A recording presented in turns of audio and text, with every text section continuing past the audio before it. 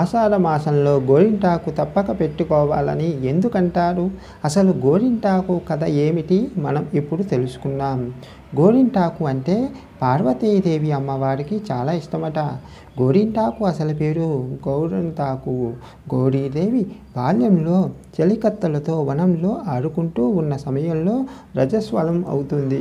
అయితే ఆ రక్తపు చుక్క నేలపై పడగానే ఓ మొక్క పుట్టుతుంది ఈ వింత గురించి చెలికత్తలు చెప్పగా పర్వతరాజు సతీ సమేతుడుగా చూసేందుకు వస్తాడు ఆ కొద్ది సమయంలోనే ఆ చెట్టు పెద్దది అయ్యి తాను సాక్షాత్ పార్వతీదేవి రుధిర అంశతో జన్మించానని నా వల్ల లోకానికి ఉపయోగం కలుగుతుంది అని చెప్తుంది.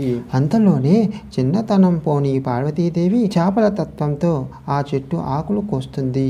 అప్పుడు ఆమె వేలు ఎర్రబారిపోతాయి. అది చూసి అయ్యో! బిడ్డ చేతులకు ఏమైంది అని కంగారు పడతారు పార్వతీదేవి తల్లిదండ్రులు.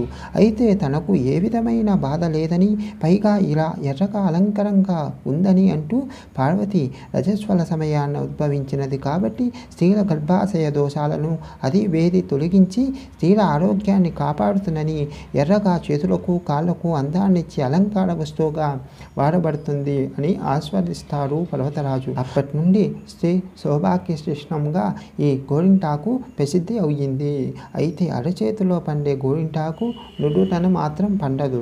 ఎందుకంటే గోరింటాకు చెట్టు ఉద్భవం గురించి తెలిసిన కుంకుమ గౌరీదేవి దగ్గరకు వచ్చి ఇక అందరూ నుడుత కూడా ఈ ఆకుతోనే బొట్టు దిద్దుకుంటారేమో నా ప్రాధాన్యత తగ్గిపోతుంది కదా అని చెప్పి బాధపడుతుంది. అప్పుడు గౌరీదేవి ఈ ఆకు నృతన పండదు అని చెప్తుంది.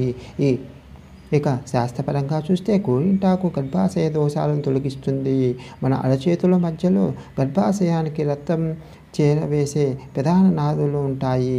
వాటిలోని అది ఉత్సాన్ని తగ్గిస్తుంది. గోరింటాకు ఇలా గోరింటాకు పండటం అనేది స్త్రీల ఆరోగ్యాన్ని సూచిస్తుంది. అంతేకాదు శాస్త్రపరంగా చూస్తే ఆషాఢ మాసము వర్షాకాలం తరచూ తడుస్తూ ఉండటం వల్ల కాళ్ళు పగళ్ళు ఫంగస్ లాంటి వ్యాధులు వస్తాయి. వీటి బారి నుంచి తప్పించుకోవడానికి కూడా గోరింటాకు పెట్టుకుంటారు. మరి నా వీడియో మీకు నచ్చినట్లయితే రావిపాటి సాయిబర్ శర్మ యూట్యూబ్ ఛానల్ని సబ్స్క్రైబ్ చేయండి షేర్ చేయండి లైక్ చేయండి. सर्वे जन सुखिनो भवन्तु।